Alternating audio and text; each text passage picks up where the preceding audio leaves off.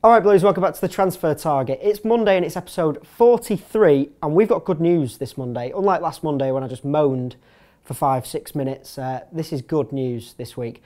But before we get started, it's the very last day where you can enter to win the signed ball from our trip to Australia. So the link's on screen now and it'll be in the description below. Click on that, go and like that video, comment on that video, and you'll have a chance to win the ball. Some not so good news before we get into the good news.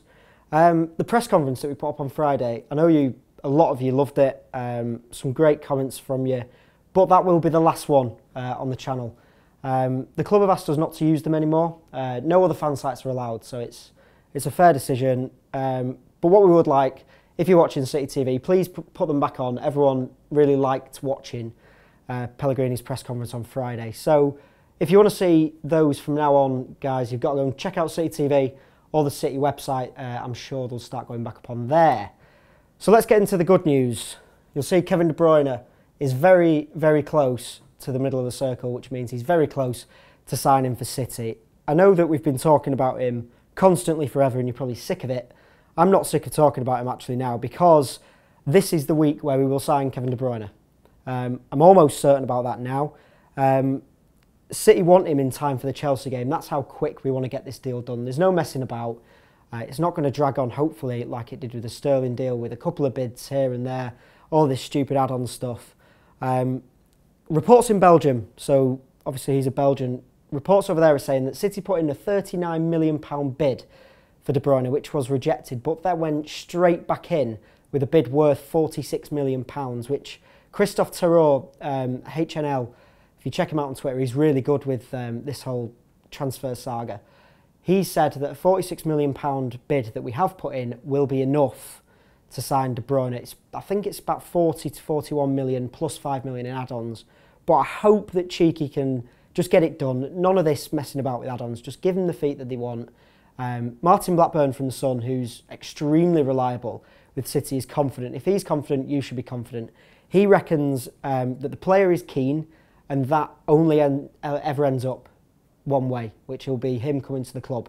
However, we've got a bit of a, a cool little exclusive. Luke Hills, one of our viewers, has sent in this footage of Pellegrini himself talking about the uh, De Bruyne situation. So check this out. Have you got any information on De Bruyne? Not for the moment. Not for the moment. No. Are we going to be getting him though? Yeah, yeah, we are. So that's what Pellegrini has to say about it. Um, what's everyone else saying about it? Well, all the English press uh, pretty much convinced that he's going to come to City. We're pretty much convinced he's going to come to City, and I reckon it will be this week. And he, I don't know if he's going to be ready for the Chelsea game. It, that's the dream, isn't it? He comes off the bench and scores the winner on Sunday, um, and then knee slides in front of Mourinho. But we'll have to see if that happens.